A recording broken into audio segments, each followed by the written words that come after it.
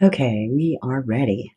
So, um, because of this update to Excel, that seriously was like 211, we need to enable the legacy data import wizards so that we can get things to work the way our textbook would like. So, on your file menu, choose it to show the backstage window, and we want to look at our Excel options on the options page, choose data. And down here at the bottom, we have these options to use the legacy or old import wizards. Let's do that. I'm going to check them all. Got them all checked. I'm going to click OK. Now that I've done that, I'm going to go to my data ribbon and I'm going to use this get data button with the drop down. And I know yours might look a little different. We want to find legacy wizards. We can't use the from file up above, but under our legacy wizards, we can use from text.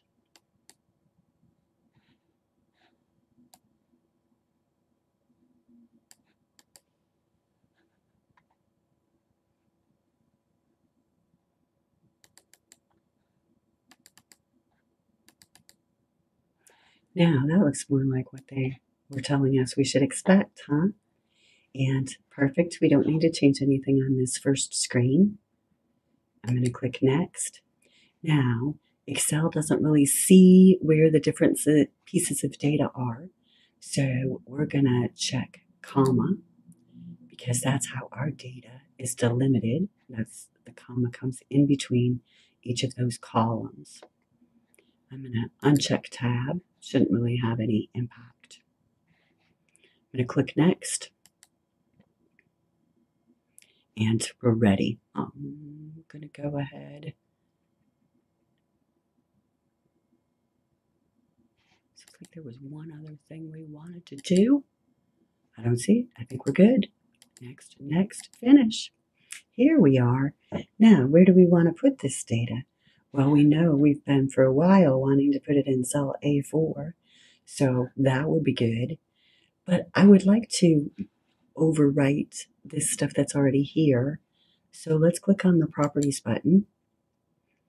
And we should be able to find this radio button that says Overwrite Existing Cells with New Data. Okay. Click OK. And then we're ready to import. Yay! Crowd goes wild. We got some data. That was a big deal for us because everything has changed on us. All right, so let me find my textbook and see where we should go from there. Now, when we're working with um, text, we can use some different functions that they show you in table 7-1. So if we looked at our function builder, we would should see text somewhere in here. See it? Hmm, it must just be one that we have to type in. That's super fun. So we can use a bunch of different options that they show us in the textbook. So let's use some of them.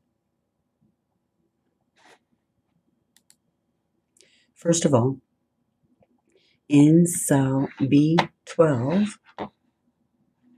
some of our descriptions are not starting at the beginning of our column.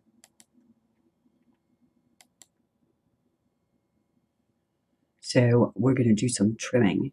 So let's type equal trim B4. So we're going to set this column equal to the data in column B4 without those leading spaces. So we can see how that works.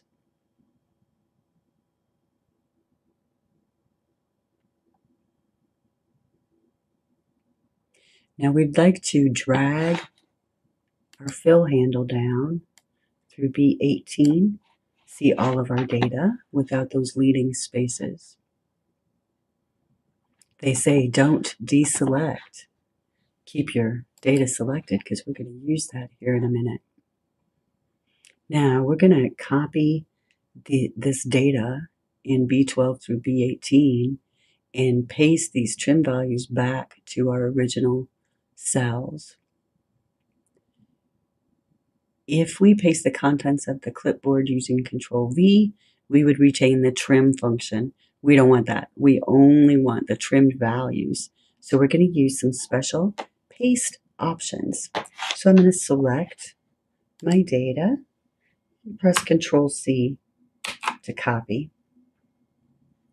Now I want to right click in B4 to display the shortcut menu and I want to paste values only. There they are.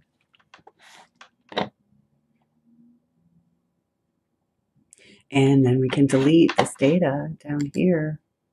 We don't need it anymore.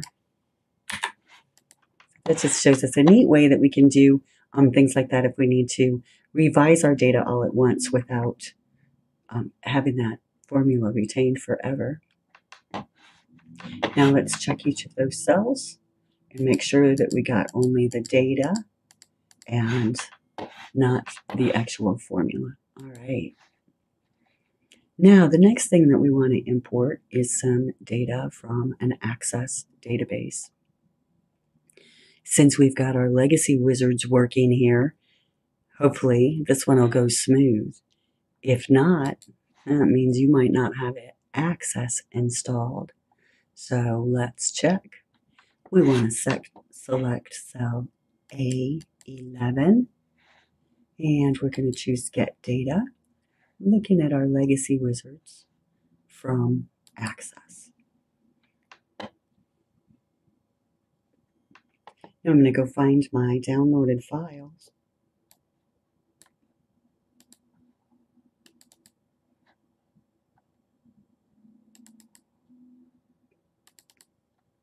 and there's our Access database. This is the Access icon. So if you're not seeing that, that's a hint that Access may not be installed. I'm going to click Open to start that wizard.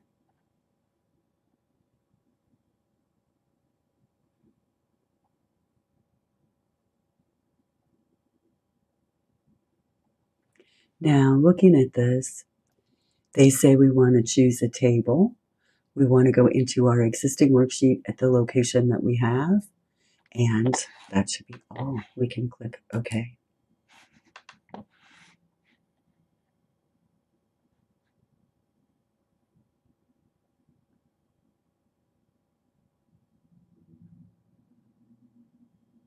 So there's our Excel data. Now they say, what happened to the layout of the worksheet when Excel imported the data? Fixed it up for us, didn't it? Let's format it. Um, they want us to right click cell A11 and choose table. And then choose convert to range.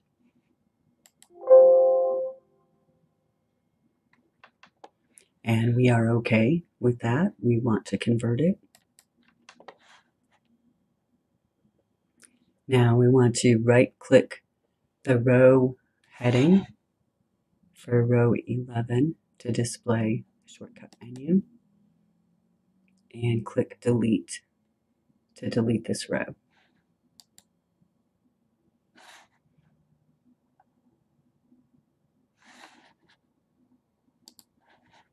Ah.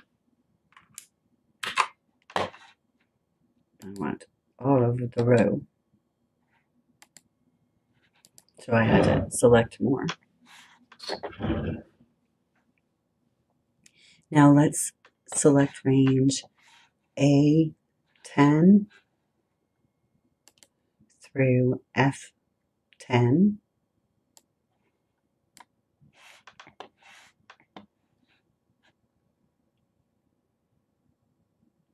And click the Format Painter button.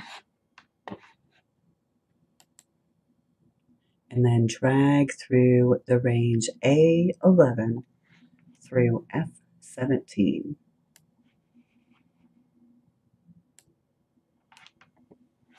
And then we just copy that formatting.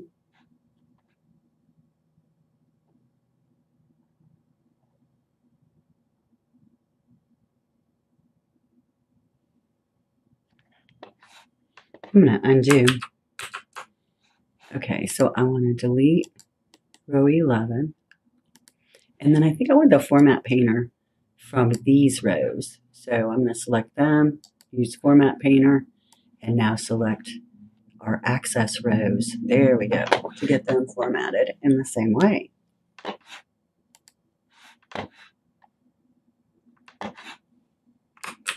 One more time, let's just select one whole row, format painter, and then select all these. There, now we got comments and everything.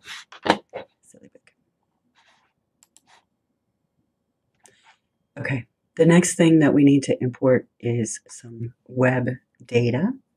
I'm going to go ahead and uh, click in A18 to get started with that. Web pages, if you are aware, use a file format called HTML, which is Hypertext Markup Language.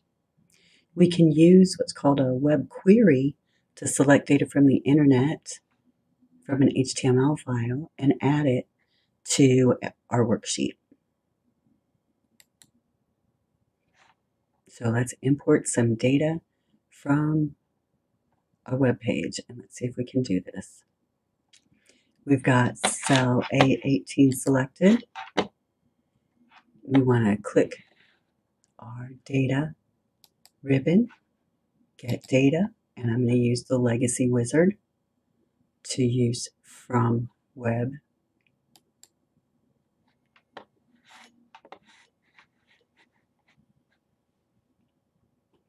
And then in the address bar, they want us to type the path location of our data file.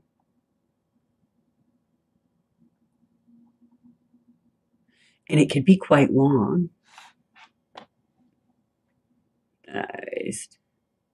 Sure, sure. it's it's Microsoft Internet Explorer, right? Okay, so let's go find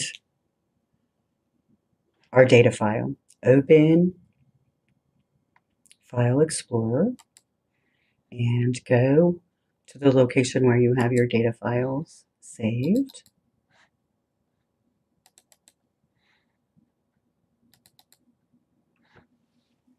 So the one that I'm going to want is um, this salesdata.htm.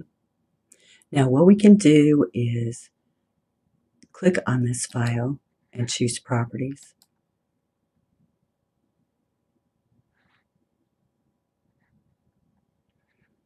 We can copy our location here. I'm going to select it. You can right click and choose copy.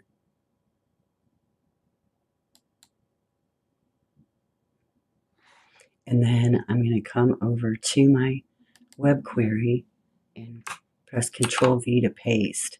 Now I'm not done, y'all. I've got to do one more backslash, and the backslash is the slash that's right above the Enter key. And I'm going to go back to File Explorer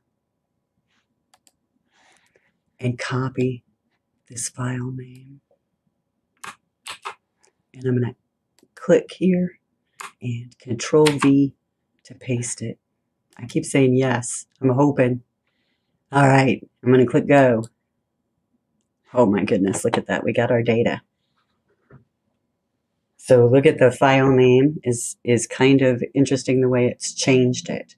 So my file was saved in my external hard drive, which is my F drive, in my documents folder, in my CIS 201 folder, in my Excel chapter 7 project folder, and then the long file name. So again, what I did was I found our file in File Explorer and I looked at the properties screen for it and I copied the full path, added a backslash, and then copied the file name and pasted it after the backslash. When I clicked go then, it was able to read that web data file. Okay, so now we have our information there the way we want it. And they do have a question. Could you navigate to the file using the File Explorer and just double click on it? No, you couldn't because it would just open it in a, a web browser. So we have to be within Excel and go through this pro process. Let's click the data selection arrow button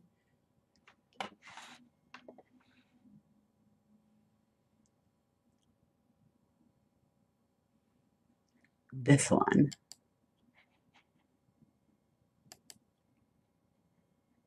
I think I've selected the table. And then we can import.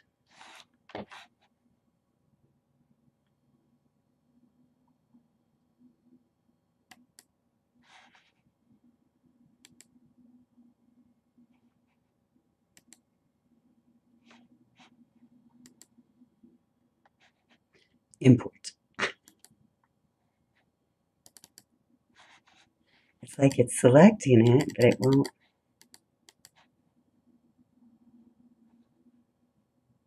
That's the whole thing.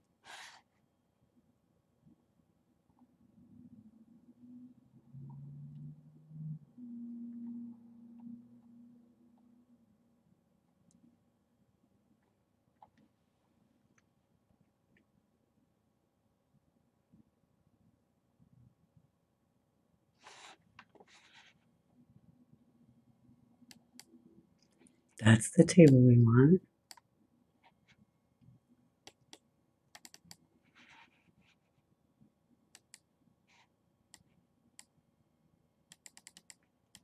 Hmm.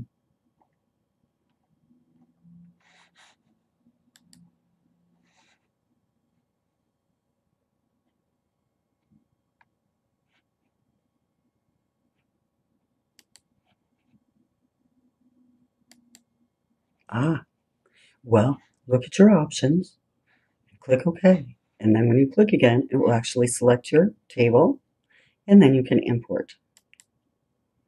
Now, once we've got our import data box, which is what we want, uh, we're going to say that this is going to go into our existing worksheet in A18.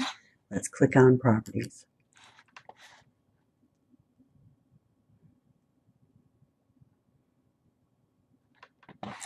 On Adjust Column Width, we don't want that to happen. So let's uncheck it and then click OK. And we're ready to import our web data. Now we've got some headings, so let's delete those. And we want to use the format painter again. So A17 through F17, home, format painter, apply to all those rows. Now, the reason you would want to use a web query instead of just copying and pasting from a web page, you're going to be able to keep all the web page formatting and if you just copy and paste, you won't have a link to the web page for the future, which you will with this import. Okay, the last thing that we're going to import, I think, is Word data. So a Word document, you know, a lot of times people will save stuff in a table in Word, and we're going to use that to import. So we're going to open Word.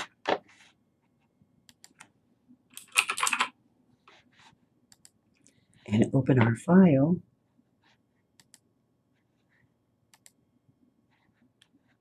So I'm going to go to my save location.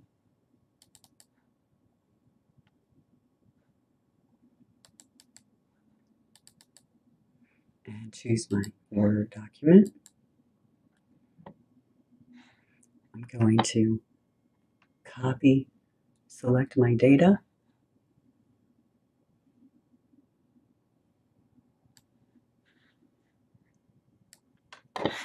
And it doesn't look like it's in the right format for us. So let's see what we can do. I'm going to copy this. And in our cell where we want to paste, let's right click and look at our paste options. Now, under paste special,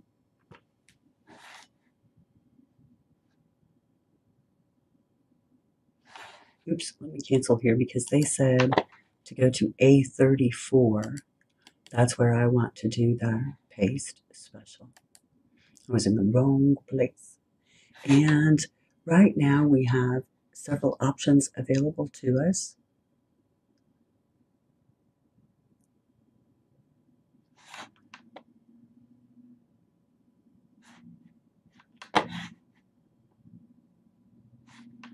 So they want us to convert that as text and click OK. And then we have our data. And I'll be right back.